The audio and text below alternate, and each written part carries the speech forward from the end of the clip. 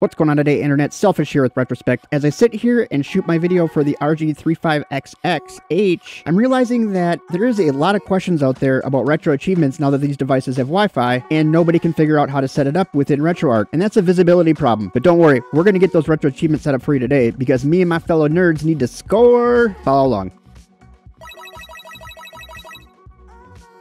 I've been watching this retro achievement question fester here for about a month now since the RG35XX Plus came out, and nobody knows how to set it up. So I went ahead and I wrote up a quick tutorial for you. I threw it down on my thingamabob. Just go down there. It's a step-by-step -step guide if you don't want to watch me talk. You can just pause this video. You can read it down there.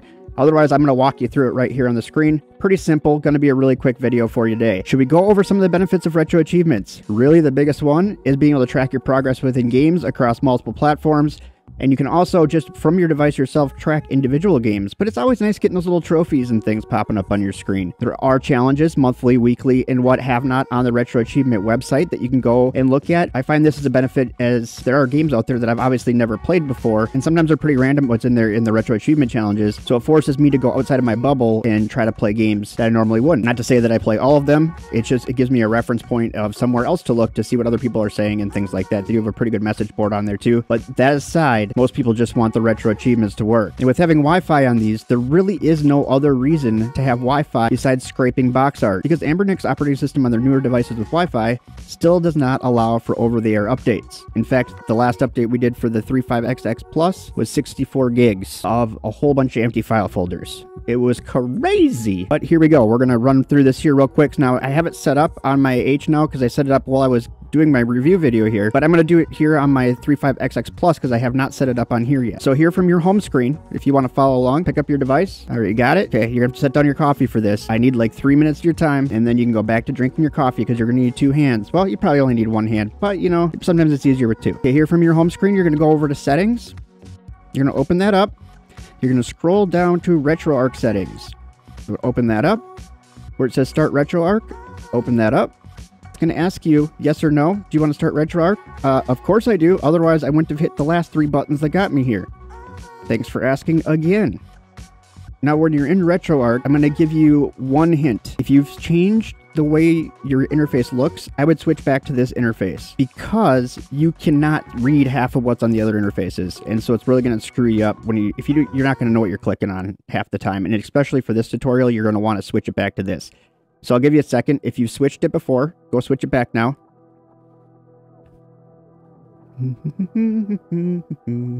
Let me know when you're done. Good? Okay. So now we're all in the same spot. We're right here on the main menu here in RetroArch. Now, we just need to scroll to the left here, go down to Settings. Under Settings, the same place that you just changed your user interface, we're going to go right back in there. Hit A. Once it's highlighted, all right. Now that we have this open, we're going to go into the main item visibility. These are going to be the big things that you can see within your menus, such as your, your quick resume menus and things like that, your quick menus. Now, under here, you're going to go down one to settings, and you're going to scroll down to show achievements.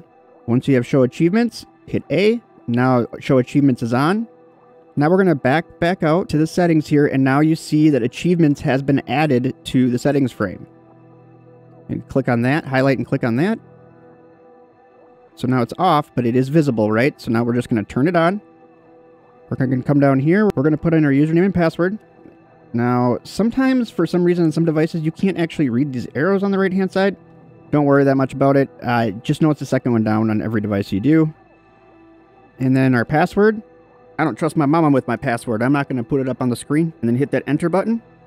Now, some things that I would recommend personally, uh, turn hardcore mode off unless you're a bad mamma jamma, because hardcore will take off things like save states, which is probably the most used feature in RetroArch, but it also takes off fast forwards, rewinds, pauses, stuff like that. Now down here you can enable or disable your leaderboards, and this will give you leaderboards amongst your friends or whatever challenges you're doing. You do have the challenge indications on, easier to go to the website. If you want to hear sound when you unlock it, you can do that. Some people, for whatever reason, wanted to take an automatic screenshot when that award pops up so you can see what you were doing when you won it. That's a possibility too. After this, we're just going to back out. And we're going to go back to the main menu. And we're going to go down to configuration file. And we're going to go save current configuration. Once that's complete, we're just going to go back here to the main menu, backed out one, and we're just going to go quit RetroArch. And that's it. Easy peasy lemon squeezy. So now RetroArch does show up in your quick menus. So, for instance, if you're in your quick menu when you're in a game and you hit pause, you can go down here. You can see what achievements you still have to do, which ones you've already done. So you have uh, an option right here, right in your quick menu to be able to do this. Now, as you can see, my quick menu is a little bit longer than yours probably is. And that's because I've made some other things visible. And you do have those options in the exact same menu where we enabled RetroArch. You can actually enable some other things as well for visibility.